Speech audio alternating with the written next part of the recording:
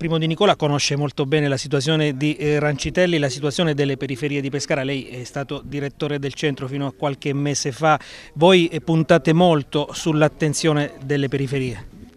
Pescara è anche questo, l'Abruzzo è anche questo, l'Italia è anche questo e questa mattina proprio da qua noi vogliamo lanciare un messaggio preciso che è innanzitutto di testimonianza e di sostegno alle realtà territoriali che in un quartiere come questo hanno difficoltà a sviluppare le loro iniziative. Noi da qui vogliamo questa mattina appunto lanciare un appello a tutte le istituzioni perché finalmente si facciano vivi con i cittadini di questo quartiere perché ci sono risorse sane in questo quartiere cittadini che vogliono esercitare i propri diritti, che vogliono vivere in questo territorio, mandare a scuola i propri figli in tranquillità, senza che ci siano i timori, le paure di ritorsioni che pari, praticamente paralizzano questo quartiere. Eh, io ringrazio i, tutti i cittadini che hanno preso coraggio e che eh, denunciano la loro situazione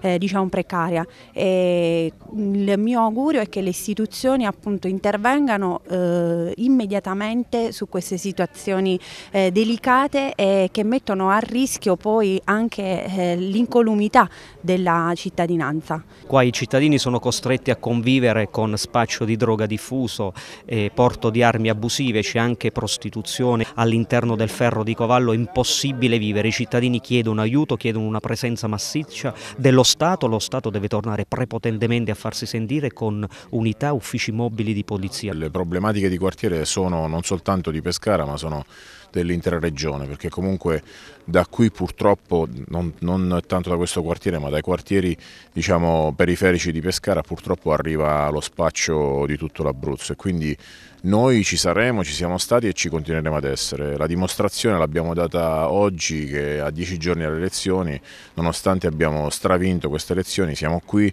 presenti ad, ad, vicino ai cittadini.